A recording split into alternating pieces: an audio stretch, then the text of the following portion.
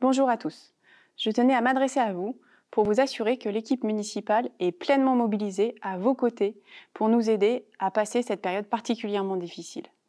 Depuis notre prise de fonction, nous avons appliqué une méthodologie basée sur la prévention, l'anticipation et l'action.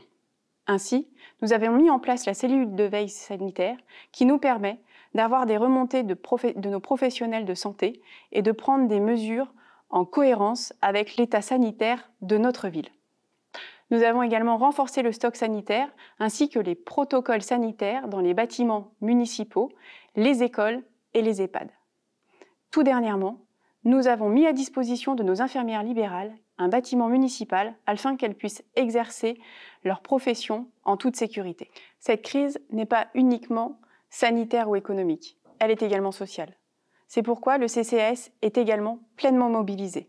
Bien sûr, il continue son portage de repas, mais nous avons ajouté à ce service un soutien psychologique via un système d'appel téléphonique auprès des personnes les plus isolées et les plus vulnérables, qui peuvent également recourir à des prestations de soutien logistique, par exemple euh, la réalisation de courses alimentaires ou de médicaments.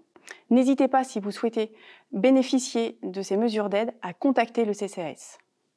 Il est primordial pour nous de soutenir nos écoles et nos écoliers dans cette période difficile.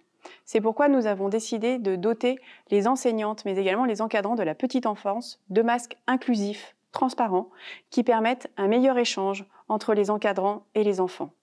Nous sommes également prêts à déclencher le plan dit école dédoublée si le ministère venait à le décider.